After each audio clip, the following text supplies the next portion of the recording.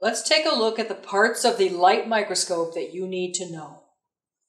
Obviously, this is the power cord. This is the on and off switch.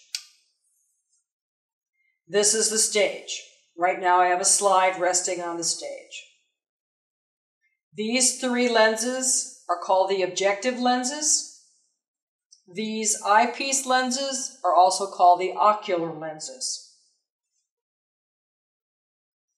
This controls the position of the slide on the stage. There's two parts of this black rod that you can move. This one obviously pulls the stage slide towards you and away from you. This one moves the slide left and right on the stage.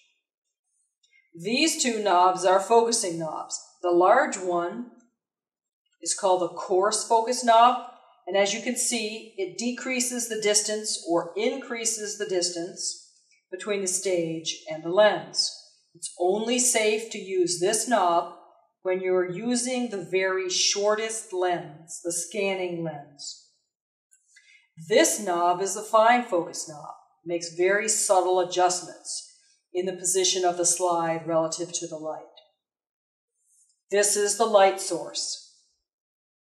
Underneath the stage, you can rotate this wheel and it will increase and decrease the light. Sometimes there's a lever which will allow you to do the same thing. In this model of microscope, it's a wheel.